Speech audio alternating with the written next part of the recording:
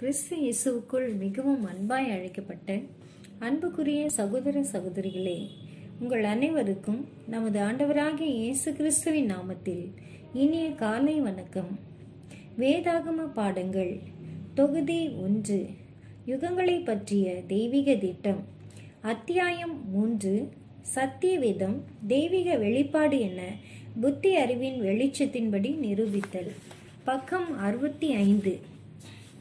மேற்கூறிய அற்புதங்கள் நம்முடைய அனுபவங்களுக்கு சாதாரணமானதாக இல்லாவிடினும் அதற்கொப்பான அதிசயங்கள் நாள்தோறும் நம்மும் சாதாரணமாக நடைபெற்று வந்தாலும் அவைகள் குறிப்பாக நம்மால் கண்டு கொள்ளப்படாமல் இருக்கின்றன.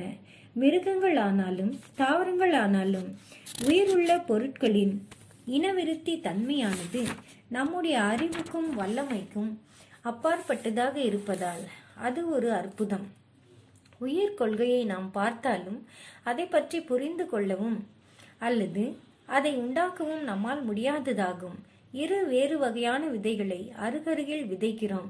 ஒரே விதமான காற்றும் நிலமும் மண்ணும் இவ்விரு விதைகளை சுற்றி இருந்தாலும் அவைகள் முளைத்து வளரும் பொழுது அது எவ்வாறு முளைத்தெழும்புகிறது என நம்மாலோ அல்லது தேர்ந்த ஞானிகளால் கூட இந்த அற்புதத்தை விளக்க முடிவதில்லை. மேலும் இவ்விதைகளில் ஒன்று படர்கிற கொடியாயும் ஒன்று நிமிர்ந்து நிற்கிற செடியாயும் உருவத்திலும் பூக்களிலும் அவைகளின் நிறங்களிலும் இரு விதைகளுக்கும் ஒரே விதமான சூழ்நிலை சூழ்நிலைகள் இருந்தும் எல்லா வகையிலும் வித்தியாசப்படுகிறது. இம்மாதிரியான அதிசயங்களை நாம் சிறு பிள்ளைகளாய் இருந்தபோது அதிசயமாய் பார்த்திருந்தாலும் காலம் செல்ல செல்ல அவைகள் நமக்கு சாதாரணமாகி விடுவதனால் அற்புதம் என்று எண்ணாமற் போகிறோம். ஆனாலும் நம்முடைய குறைந்தபட்ச அறிவுக்கு அப்பாற்பட்ட சக்தியானது வெளிப்படுத்தி கொண்டே இருப்பதுடன் அதில் சில அதிசயங்கள் வேதத்தில் விசேஷமான நோக்கங்களுக்காக பதிவு செய்யப்பட்டு குறிப்பாக தேவனுடைய சர்வ வல்லமையை விளக்குவதற்காகவும் எந்த ஒரு தடையையும் மீறி தன்னுடைய சித்தத்தை நிறைவேற்றும் வல்லமை மகா பெரிய சிருஷ்டிகருக்கு உண்டு என்பதை காட்டவும் இன்னும் அவர் இவ்வுலகிலிருந்து தீமையை முற்றிலும் நீக்கி நித்திய நீதியின் ஆட்சி நடைபெறும் பொருட்டு மறித்த அனைவரையும் உயிர்த்தெழுப்பும் வாக்குதத்தையும் நிறைவேற்ற சக்தி உள்ளவர் என்பதை நிரூபிக்கவுமே இம்மாதிரியான அற்புதங்கள் உதாரணமாக சொல்லப்பட்டுள்ளன. இங்கு நாம் சற்று நிதானிப்போம். ஒவ்வொரு காரியங்களையும் நம்முடைய அறிவுக்கு ஏற்றாற்போல் சோதித்து அதன் மூலம் உன்னதமான கடவுள் ஒருவர் உண்டென்றும் அவருள் ஞானம் வல்லமை நீதி அன்பு போன்ற குணநலன்கள் அனைத்தும் ஒன்றுக்கொன்று இசைவாய் அமைந்துள்ளது என்றும் கண்டுபிடித்தோம். அவருடைய திட்டங்களை அறிந்து கொள்ள ஆர்வமும் சக்தியும் உள்ள சிருஷ்டிகளுக்கு ஒரு வெளிப்படுத்தல் இருக்கும் என்று எதிர்பார்ப்பதும் அறிவுபூர்வமானது என்றும் பார்த்தோம். அவ்வெளிப்பாடு வேதமே என்றும் கண்டுபிடித்தோம். அதை எழுதிய எழுத்தாளர்களையும் அவர்களுடைய நோக்கங்களையும் எந்த வெளிச்சத்தில் அவர்கள் போதித்தார்கள் எனவும் ஆராய்ந்து மிகவும் ஆச்சரியப்பட்டோம். மேலும் எந்த ஞானத்தில் எழுதப்பட்டதோ அதன் பரிசுத்தமான நோக்கமும் அந்த ஞானத்துடனே இணைந்ததாகவும் சுய லாபத்தை தேடும் வஞ்சகர்களால் எழுதப்பட்டவைகள் அல்ல என்றும் நாம் ஆராய்ந்தோம். அதில் சொல்லப்பட்ட நீதியும் பலனளிக்கும் எண்ணங்களும் பிரமாணங்களும் கண்டிப்பாக மனிதருடையதா இராமல் கடவுளுடையதாகவும் அது ஜனங்களை மோசம் போக்கும் எண்ணமுடைய ஆசாரிய கூட்டத்தாரால் எழுதப்பட்டதல்ல எனவும் உணர்ந்தோம். மேலும் இயேசுவை அவருடைய ஈடுபலி அதன் பலனாக வரப்போகிற அவருடைய மகிமையான ராஜ்யத்தின் அனைவருக்குமான ஆசிர்வாதம் மற்றும் உயிர்த்தெழுதல் இவைகளின் இசைவை பார்த்தோம். அதில் சொல்லப்பட்டிருக்கும் திட்டமானது மகா சிறந்ததும் புரிந்து கொள்ளக்கூடியதும் நாம் விரும்பும் தேவ திட்டமாகவும் இருக்கும் எனவும் புரிந்து கொண்டோம்.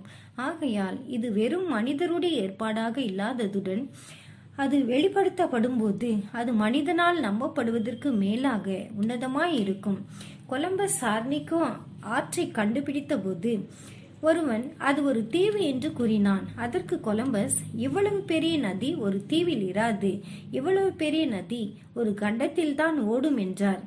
அதே போல இவ்வளவு ஆழமும் வல்லமையும் ஞானமும் திட்டங்களையும் உடைய வேதத்தின் சாட்சியானது அது மனிதனால் அல்ல சர்வ வல்லமையுள்ள தேவனை அதன் ஆசிரியர் என்றும் அதில் சொல்லப்பட்ட திட்டங்களும் வெளிப்பாடுகளும் அவருடையதாகவே இருக்க முடியும் என்றும் கூறலாம். வேதம் தெய்வீக வெளிப்பாடு எனவும் அது நம்முடைய அறிவிற்கு ஏற்புடையது எனவும் மேலோட்டமான ஆராய்ச்சியிலேயே கண்டுபிடித்தோம். தேவ ஏற்பாட்டின் பல பகுதிகளை விளக்கும் பின்வருகிற அதிகாரங்கள் வேதத்தை உண்மையாக விரும்பும் ஒவ்வொருவருக்கும் அது ஒரு தெய்வீக வெளிப்பாடு எனவும் அதில் உள்ள தேவ திட்டத்தின் நீளம் அகலம் உயரம் ஆழம் ஆகியவற்றின் மூலம் இதுவரை மங்களாக வெளிப்படுத்தப்பட்ட தேவனுடைய குணநலன்கள் மகிமையாக வெளியாக்கப்படுவதுடன் ஆயிரம் ஆண்டு அதிகாலையாகிய இப்போது பிரகாசிக்கும் வெளிச்சத்தில் இன்னும் தெளிவாக நாம் காணலாம் என்பதற்கு அவைகள் சரியான ஆதாரங்களாக அமையும். அதி உன்னத சத்தியம். பிரியமாக வாங்கப்பட்ட உன்னத சத்தியம். மனிதனால் அன்றாடம் பயன்படுத்தப்பட்டு வரும் பொதுவான சத்தியம். எளிய மனித வாழ்க்கை பாதையினுள் வரும் சத்தியம். அலட்சிய காற்றால் நம் வழியிலிருந்து அடித்து செல்லப்படும் சத்தியம். பிரியமாக நம்மை மேற்கொண்ட உன்னத சத்தியம். அது அதிர்ஷ்டத்தாலும் அல்ல பகல் கனவின் சுவாசமும் அல்ல. அது வலுமிக்க ஆத்ம போராட்டங்களிடையே உணரப்பட்ட சத்தியம். எதிர்காற்றையும் நீரோட்டத்தையும் எதிர்த்து எதிர்நீச்சல் போட்டு பெற்ற சத்தியம். முரண்பாடுகள் குழப்பம் பயம் துவக்கம் மத்தியில் தேவனது வல்லக்கரம் பலமாய் இறங்கும் பொழுது அசையாத அடிமண்ணாகிய இருதயம் உழப்பட்டு வெளிச்சத்தை காண பண் பண்ணும் புதைப்பட்டுள்ள சத்தியம். பொது அங்காடியிலோ கோதுமை அப்பம் திராட்சை ரசத்திலோ அல்ல பொன் மாணிக்கம் போன்ற ரத்தின கற்களிலும் அல்ல. உலகம் இன்பங்களை ருசிக்கும். நடுராத்திரி களியாட்டங்களிலும் அல்ல. ராஜாக்களின் மகுடங்களின் பிரகாசத்திலும் அல்ல. அந்த உன்னத சத்தியம். மனித போதனைகளின் மோதல்களில் அல்ல. திருச்சபைக்கும் உலகிற்கும் நடுவில் விற்பனை பொருளாகவும் அல்ல. சத்தியத்தின் உண்மை பொக்கிஷம் கலைகள் புதர்களின் மத்தியிலும் கண்டுபிடிக்கப்படுமா? அவளுடைய சத்தியம் நிஜம். அவர்கள் அறுவடைக்காக எழும்பும்